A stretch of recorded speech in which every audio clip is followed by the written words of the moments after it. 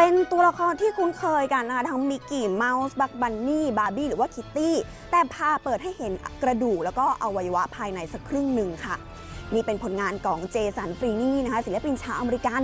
คนนี้ค่ะเขาถนัดงานปั้นโมเดลแบบถอดกายวิภาคของตัวละครจากการ์ตูนแล้วก็เกมดังๆ จนกลายเป็นเอกลักษณ์ผลงานเฉพาะตัวที่ทำมาถึง 5 ปีแล้วนะคะ วิธีของเขาค่ะก็ไม่มีอะไรซับซ้อน เริ่มจากการซื้อโมเดลของจริงมานะคะ แล้วก็พาค่ะเปิดออก 1 ใน 4 ส่วน ยัดดินน้ำมันเข้าไปนะคะ แล้วก็แกะสลักกระดูกแล้วก็เครื่องในออกมาทีละชิ้นตามตามจินตนาการของตัวเองค่ะ uh, a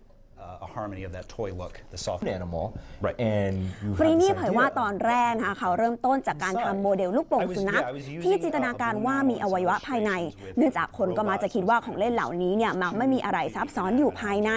ผลงานของเขาก็เลยดูแปลกตาแล้วก็เหนือความคาดหมายจริงๆนะคะ แม้ว่าตัวเขาเองเนี่ยจะไม่เคยเรียนการวิพากษ์มาก่อน แต่ก็ชอบศึกษาด้วยตัวเองค่ะ แล้วก็สนุกกับการออกแบบ พร้อมกับปรับสัดส่วนอวัยวะภายใน ให้กับเหล่าตัวการ์ตูนดัง ๆ ด้วย แต่ก็บอกแหละว่าพยายามลดทอนรายละเอียดนะคะ ให้ยังดูเป็นของเล่นอยู่ไม่อย่างนั้นก็คงจะออกมาสยดสยองเกินไปค่ะ